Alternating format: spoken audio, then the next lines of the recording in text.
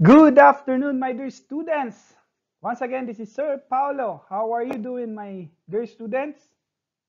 Okay, I hope and I pray that everybody is doing well at their respective homes. Okay? Uh, sana nasa maganda kayong kaayusan at malusog yung pangakatawan nyo. Okay? Because we will be discussing another lesson. This is for second quarter, fourth week. Okay, the lesson that we're going to discuss is about law of exponents. Are you ready? Okay, let's go. Okay, so after the discussion class, this is the objective. The following are the objective that you need to attain at the end of the lesson. First, you have to evaluate numerical expression involving integral exponents. Second, demonstrate understanding involving positive integral exponents. And last, despite of this pandemic, you demonstrate the value of perseverance and positivity in accomplish accomplishing task. Okay? So relax lang, konting chill lang um, while answering all those problems na nasa inyong module. So before we will proceed class atong proper lesson, I want you to watch, okay? And observe this video. This is one of my my my son's favorite um, toddlers na mga video, no? And shout out to Simple Super Simple Music, okay? Kids video. You can check out the link sa sa ilang YouTube channel. Thank you for this video. And while watching, again, you observe unsa ang inyong nakita sa video because we will be um, using all those observation later on sa atong discussion. Okay? Let's go.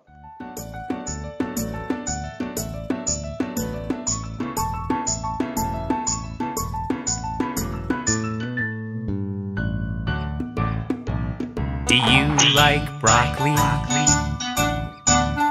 Yes, I do. Yes, I do. Do you like ice cream? Yes, I do. Yes, I do. Do you like broccoli ice cream? No, I don't. Yucky.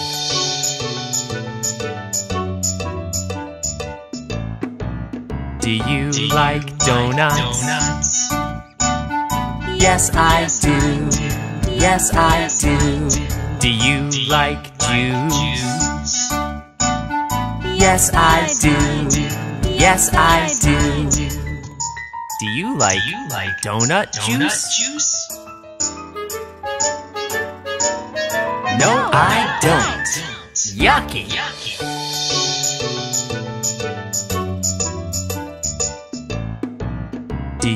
Like popcorn? Yes, I do. Yes, I do. Do you like pizza? Yes, I do. Yes, I do. Do you like popcorn pizza? No, I don't. Yucky.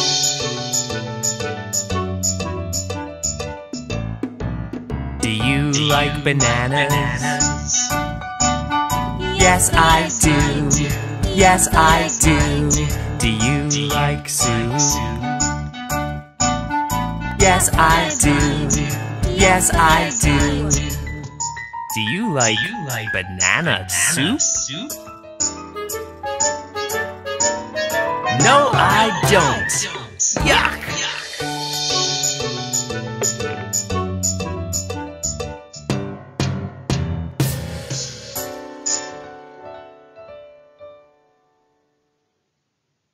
Okay, that's it. So, class, what had you observed in the in that video? Okay?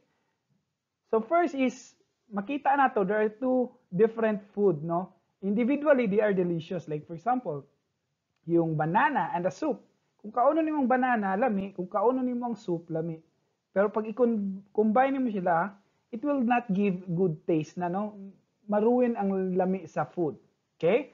So later on in our discussion class, no, na ay mga ingana. The same thing, like for example, sa inyong TLE class, okay? there are specific tools na gamitin niyo for a specific task. You cannot use this kind of tool pag dili na siya for that certain task, right? So, naay mga ingana ng butang. The same thing with mathematics, there are mga rules na atong sundon. Na pagka na nga rules, the same with thing with the video, atong gipugos og combine, atong gipugos og tibo silang duha, it will not give a good result. Or, maybe your result is not correct. Okay? So, mao ang atong bantayan while nagatan-aw taani nga video. Okay? So, let's continue. Let's have a little review. Okay? So, in this lesson class, first is you must be familiar with exponent. Okay? So, you're done with this with your grade 7 and grade 8, and let's have just a little review. And also the variable or sometimes the base. Okay? And last, the coefficient. So, what are these, uh, what are these three? No? Anong difference nila? Because I will cite this example. Let's say, for example, we have 3x squared. Okay? If manotice ninyo na atay tulo ka figure, numbers, okay, na nakasulat din na. First, we have the number 3. What's next?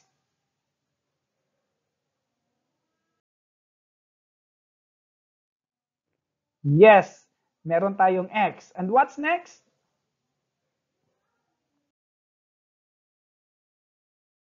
Okay, yung 2 nga nasa taas.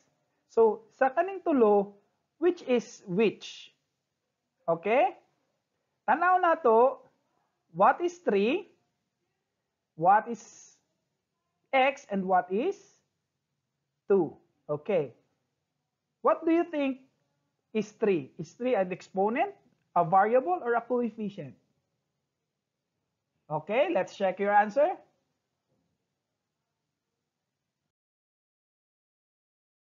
Okay, 3 is the coefficient. How about x? What do you think is x? Okay, let's check your answer.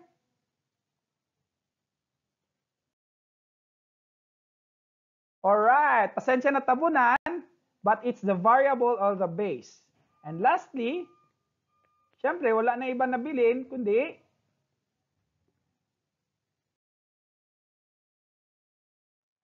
Right.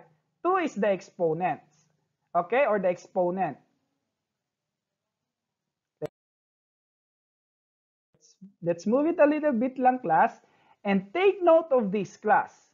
So, pag makakita mo ingani nga expression, yung number katapad sa isa ka variable, that is what you call the coefficient. Coefficient of that certain term. And kanang 2 na naa sa ibabaw sa x, that is called exponent.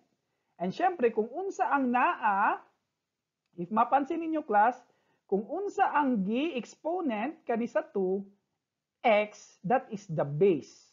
Okay? Or the variable sometimes, the base. Okay? So we'll call it now as a base. Okay? Nakuha na ninyo. So familiar with this, ha? coefficient, exponent, and variable. Okay, let's continue. Okay, so in your module class, you open your module open it, and tanawa sa activity 1, yung complete me.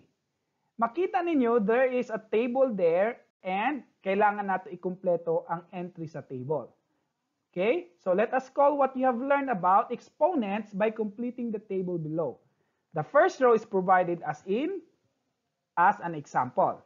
So I will show you the table na nasa inyong module. Okay? I hope everybody is naana sa sa ilang module and while watching this video. So let's take note of this example. Meron tayong example, 5 exponent 2 or 5 squared or 5 raised to the power of 2. So we will find the base. So based sa atong review class, we all know that ang base is mautong na ay exponent. So sa 5 squared, asa din na ang base? Correct. 5. And our exponent, definitely that is number 2. So what does it say? Meaning, if you expand that one, that is 5 times 5. Okay? Meaning, you multiply 5 okay, 2 ka 5. Okay? Base sa exponent. So, kung you have 3 exponents, 3 ka 5. Ang i-multiply nimo sa isa't isa. Okay? And the product is 25. So, that is 5 times 5 is equal to 25. Sa table ninyo, class, maura ng example. But I will give you another example. Yung number 1, answera na to. No, para mas masabta ninyo. So, first, we have 6 squared. What is the base? Correct. The base is 6. And what is the exponent? Correct. The exponent is 3. Very good. How about, what's the expansion of this 6 cube? Or 6 raised to the power of 3? What's expansion? Very good. That is 6 times 6 times 6. Because the exponent is 3, it says that you have to multiply 3, 6. Okay? So that's how it works. And what is the product? Very good. 216. That is 6 times 6 times 6. So I hope class, nasabta ninyo kaninga simple na activity. So we before we proceed class, I want you to pause this video. I-pause ninyo dito sa yung YouTube channel and you complete the table. Answer sa ninyo yung table. After niyo man silang table, you go back with this video. I-play niyo usap. Okay? So, in a count of three, I want you to pause this video and let's see later on unsa ang tama nga answer. Actually, you can check it sa inyong module gapon sa inyong answer key. Okay? So let's proceed. You pause in 5, 4, 3, 2, and 1. Okay, class. Welcome back. Assuming na na-pause na ninyo ang video. And let's reveal the answer. And you check if tama ang inyong answer na gibuhat. Okay? Tadaan! And this is the answer. Okay. So, isa-isaho na to. So, you have 2, 2 raised to the power of 6. Yung base nato is 2.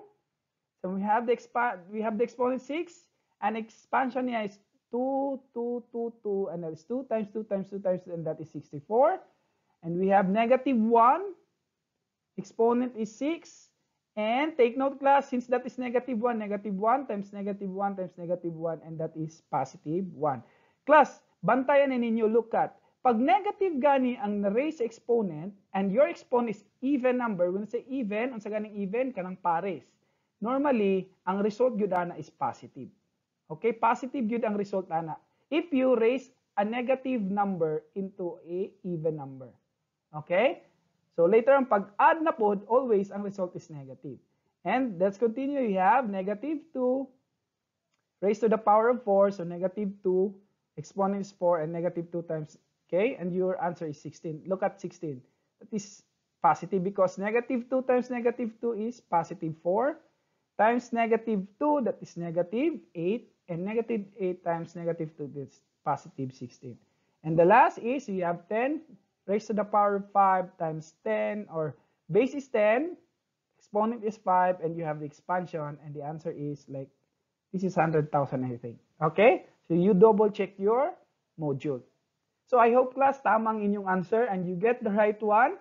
Okay, if dili uh, you correct, you just correct your ano, your your answer. Okay? So, let's proceed. Uh, again, so this is the answer.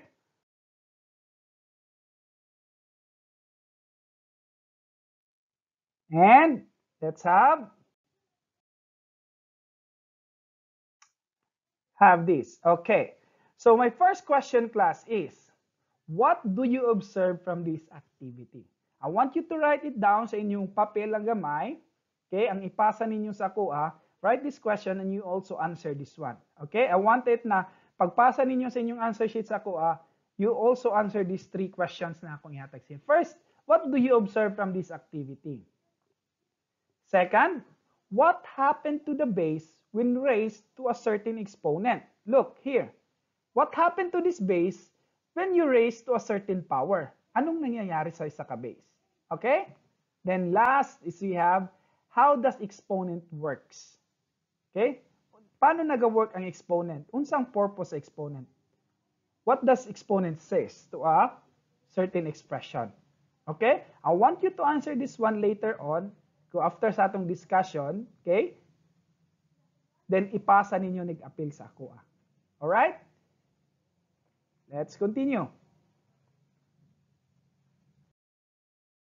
Okay, so let's go on to our discussion class. Okay, so there are three, sa inyong module class, there are, I think, um, nine or eight law of exponents. Okay, but for today, for this video, we will only discuss the product rule. Okay, there are nine rules, I think, or eight rules. So we have product rule, we have power rule, and also the power of a product rule. Okay, let's focus with this topic first. Okay, and the following rules will be discussed sa laing video. Okay, let's focus on these three first. So first we have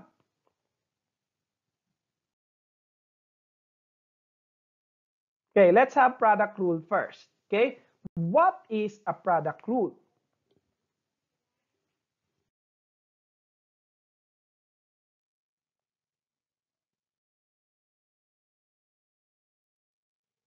Okay, according sa inyong module, sa inyong definition din na, when multiplying like bases, again, take note, when multiplying like bases, we copy the base and add their exponent. Again, I give an emphasis to class, akong i-highlight like bases. Kabalo naman what is a base. So meaning, kung mag-multiply daw tag parehag base, unsay buhaton. Add their exponents. Okay? Sa inyong module class, I think, klaro ni siya. So first is we have to copy the base. Kung unsa tong base na common or pareha, just copy their base and just add their exponents. Ing-ana lang siya kadali. Okay? So let's have this illustration here. Let's say, for example, I have a raised to the power of n.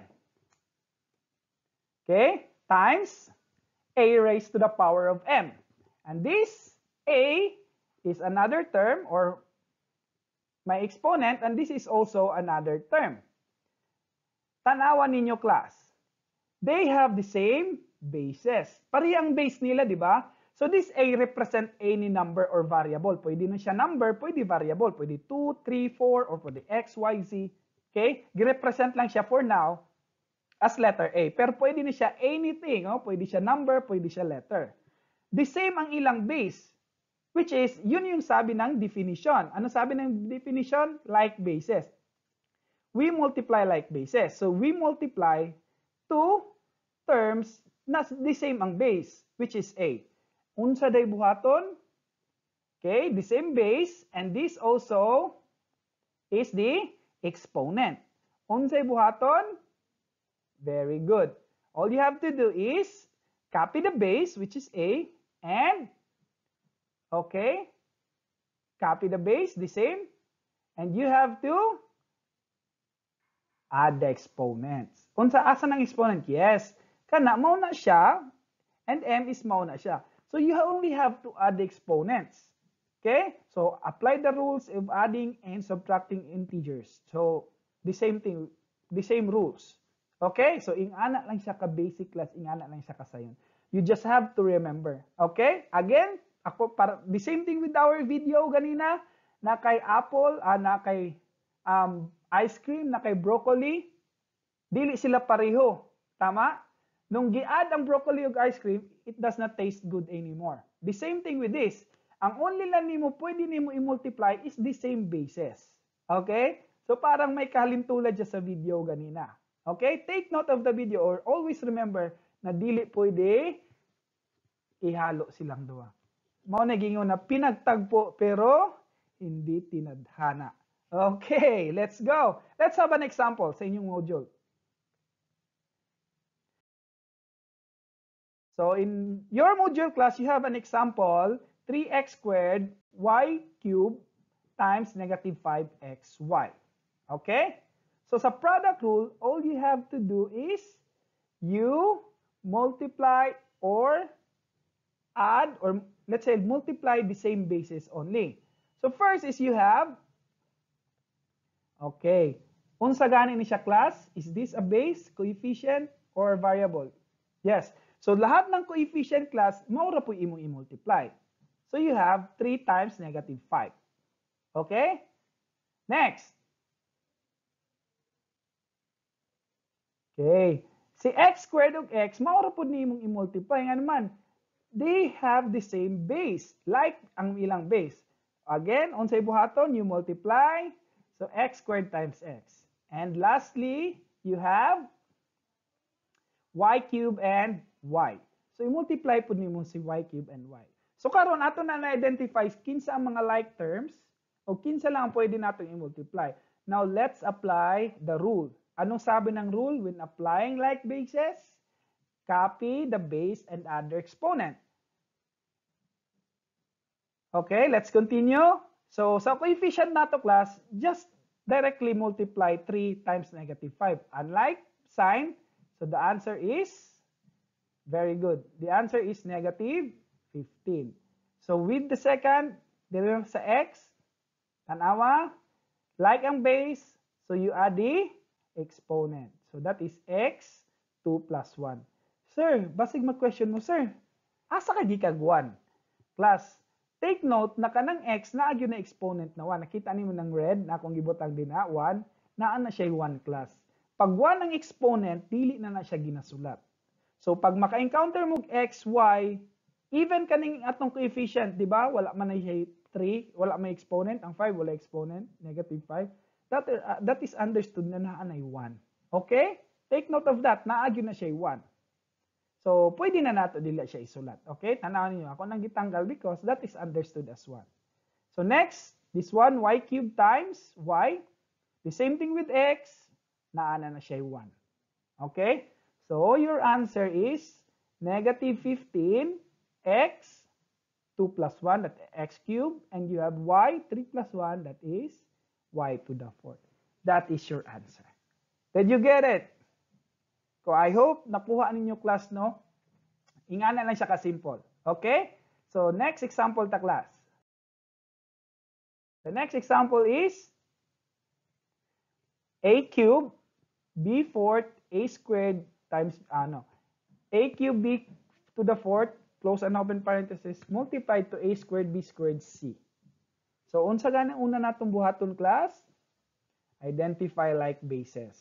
So, identify nimong like and base. So, this time, you have a cubed and a squared. Next, you have b squared and b to the fourth. And last is, you have c. Sir, si c, siya ramay sa Picasola. Class, if that if that is the case, just copy. Ha? I-copy lang. Let's say for example, napa siya Z, napa siya W, nya wala siya ka-multiply, wala siya ka pareha nga base, just copy. Isumpay lang siya. Okay? Then apply the rule. Okay? The rule says, copy the bases. Okay? Then, add the exponents. Same thing with this. b squared b to the fourth. Unsay buhaton? add exponents, and copy letter C. Okay. So A, 3 plus 2 exponent, that is equal to A to the fifth, B to the sixth, and C. So your answer is A raised to the power of 5, B to the sixth, and C. So that is product rule. Nakuha. Okay, very good. So if naamoy mga di nasabtang class, you can replay. Move backward lang kagamay para mas masabtan nimo. Okay? Okay. So we're done with the product rule. What's next? Our rule. Okay?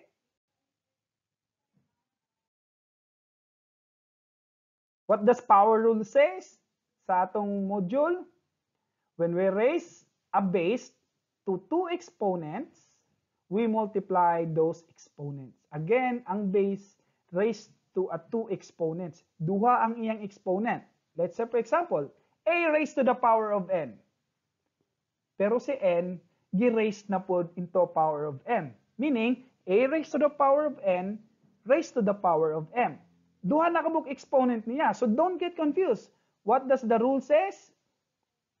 Okay, you have two exponents. Unsa ingon sa rule? Just multiply those exponents. Meaning, you copy the base and you multiply the exponents. Here it goes. Okay, take note ha, n and m are exponents. Yun. So, just copy the base class. Okay, look. Si m and si n, i-multiply nato sila duwa. Nakuha ninyo? So, just copy the base, then multiply the exponents. So, n times m. Ingana ang power rule. Okay? As simple as that. So, let's have an example.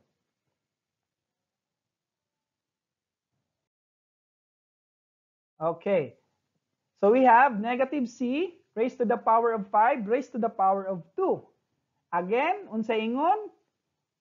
Okay, you raise this by two exponents. The rule says you have to copy the base and multiply the exponents. Nakuha? So 5 times 2. Kita ninyo? So gi-multiply lang nimo ang exponents. So that is 5 times 2. All right. So you multiply it So you have negative c times or raised to the power of 10. If makita niyo sa inyong module class, ang module, ang answer is c raised to the power of 10. How does it come? Sir, negative c raised to the power of 10 man. Ingani ni siya class. Okay? Well, let's go back to the table gi-answeran niyo previously. Napansin niyo class, katong giingon ako sa inyo ha, when a certain number is raised to a negative or when a certain base is raised to an even exponent, this one, di ba even, ang result na is positive. Nakuha? Okay. So, nga na lang siya. Let's say, for example, this one. Negative 2 raised to the power of 4. 4 is even. Ang result is positive. So, the same thing with this. Okay? Tanawa. This is the expansion. Negative, negative, negative times negative 1 times negative 1. So, meaning, the result is positive 1. So the same thing with this. Actually, class, if i-close nato ni siya, okay, this is close, yan. Okay? C, yan, naka-close yan. Okay? So meaning, ang negative C, gi-raise nimo to a certain power of x, which is 10. So if i-expand na nimo napulo ka buok negative C, the result is positive. Okay? So take note of that. So let's have another example. Okay. How about this one? Ayun, negative na po, sir. Negative na po lagi. Tanaw na to. So, raised to the power of 3 and raised to another power of 3. So what does we get? What what does we get? Or what are we getting now? We're getting negative x raised to the power of 3 raised to the power of 3, which is we multiply both exponents. And the result is 3 times 3 is equal to x to the negative 9. And that is the answer because tanawan ninyo ni negative, negative. Pero ang iyang exponent is even. That is why positive. In this case, what's the exponent? 9. 9 is odd. Dili pares ang 9. So that is why the answer is negative x. So if you wanted to try, you try 9 ka negative x, you multiply 9 negative x. The result is negative pa rin yan. Okay? So that is for product or power of a product rule. Question class. If one if wala, actually class, if you have question, right? If you have question, you can comment down below. You comment below this video and you ask unsa yung things na wala niyo nasabtan. So that I can correct or I can um, elaborate it more to you. I can explain it more to you kung what are those things na wala ninyo nasabtan. At least kung mag-comment mo dito, I can directly contact you through Facebook and tell you unsa tong or answer unsa tong inyong mga nalibugan. Okay? So I hope you comment down or i-PM ko if there are things na wala ninyo nasabtan sa kaninga video. Okay? Okay ba tana? Okay, let's do let's do this. Okay. And last, we have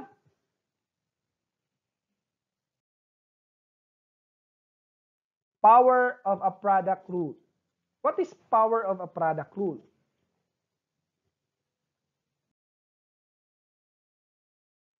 Power of a product rule says here, when we have a product, again, this time, na-emphasis na rin naka-caps na, if we have a product, when we say product, gimultiply.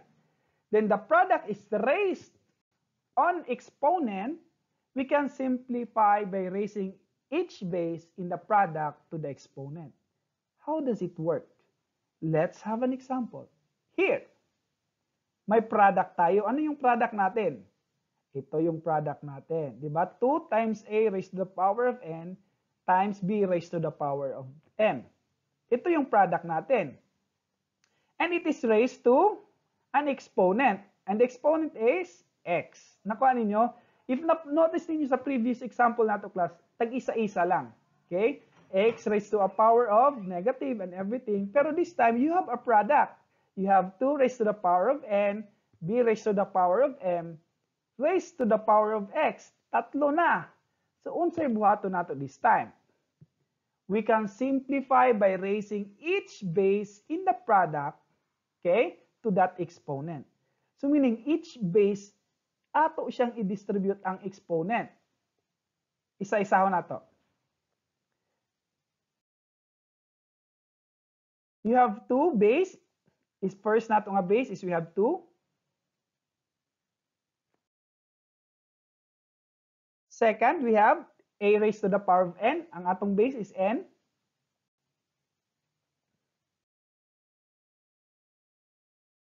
And third, we have b. So we have three kabuk base. We have 2, a, and b. And nag-ingon ang definition, ato siyang i-raise. Okay? raising each base. Kada base erase nato to that exponent which is x. And this is the result. okay. Isa-isahan nato. Okay. I-distribute nato si x sa 2.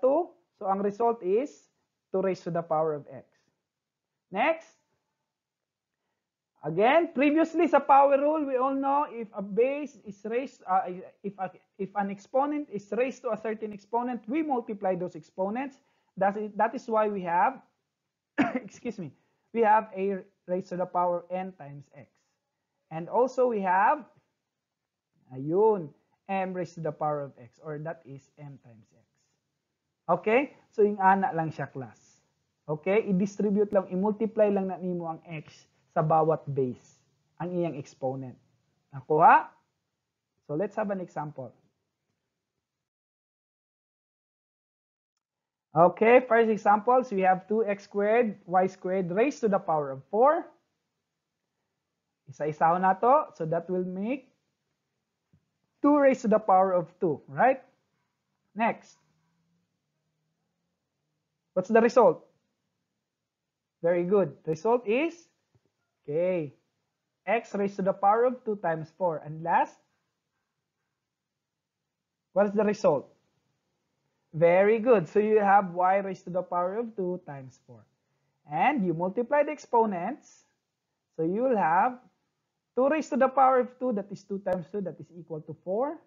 And x, okay, 2 times 4 is 8. And you have 2 times 4 is 8. So that is the answer. Another example. You have this one. Negative 2p times 2p at 2q raised to the power of 3, close and open raised to the power of 3. Napansin ninyo class, duha ka buok. Okay, na kay coefficient na po kay variable. Okay? So, kanang duha, i-raise po nimo sa 3. Okay? Meaning, si negative 2 raised to the power of 3 and also you have times this one raised to the power of 3. So meaning si 2 and si q raised to the power of 3. So 2 raised to the power of 3 times kani 3 raised to the power of 3 times 3. Okay? So you have 3. So meaning ang tanang power gi-distribute nimo every base. Take note class, this is only applicable if you have a product sign. Multiplication lang. Kung plus nang naa din na, dili siya applicable sa distribute. Okay? Take note of that. So let's simplify. So that is equal to, again, take note, negative 2 raised to the power of 3, that is a negative, and raised to an odd number, the result must be negative. So that is 2 raised to the power of 3, that is 2 times 2 times 2. Tulo kabuk 2. Okay? So the result is negative 8. Then, copy p raised to the power of q times 2 raised to the power of 3, that is positive 8. Then, q raised to the power of 9. That is 3 times 3 here. Okay. So, tama na ba itong answer? So, dili pa. Nga naman, class, you have take note of this. Na kay duha ka coefficient. Class, if you have cases like this, na naay mga coefficient, ipang multiply tanang coefficient. Okay? Dapat na kay isa ka coefficient sa isang expression nimo. So, negative 8 times 8, that is equal to negative 64. Then you copy the variable p cubed and q to the 9. So that is the answer. Plus that is a product of a power, uh, no, power of a product rule. So these are the three rules na under sa law of exponents. Okay? So we only focus these three for now. So you will have the other rules the following day. Okay? And take note, you only answer first under sa application ninyo class. You open yung module ninyo sa Getting Better. For this day, you answer activity 2. Okay? Yung remember me this way. Okay? So simplify the following algebraic expression by applying the law of exponents. So write your solution on the box provided. Only answer 1 to 3. Okay? Remember, 1, 2, 3. Kasi the rest, di pa na ninyo ma ma-answeran because lahi pangalo ang applicable din na. So in uh, um, in problem 1, 2, 3, law, power rule, and the rest of the rule na ang atong gi-discuss kalon, pwede na siya sa problem 1, 2, 3. Okay? And also after this, answer also class yung sa gaining mastery. Okay? So sa gaining mastery, you only answer 1, 2, 9, and 13. Okay? Kana lang sa ang inyong answeran for today. 1, 3, 9, and 13. So if dili niyo maklaro basa diri sa sa video kaning mga problem and uh, um, choices, please refer to the module ninyo. Okay? Nakuha. So, class, that is all for today. Okay, thank you so much for listening. Okay, so again, thank you for listening. This is Sir Paulo Rodolfo Paulo Monteros. You can contact me. Okay, I have the information. My email, actually, nakasulat din na. So, if you have questions, clarifications, concerns, please contact me on those information na nakita niyo sa video karon. And please don't like to share and like this with your classmates. Okay? Please inform your classmate na we always have this video to help you understand yung mga modules ninyo. Okay? Again, hindi kayo nag-iisa. I will be here providing you these videos so that kahit malayo man tayo, magkasama pa rin tayo. Okay? So, God bless you all guys. Um, see see your one, I want to see your answer sheets na ma-answeran yun to ninyo ang atong gi-discuss karon. Okay? Thank you and God bless. I love you all.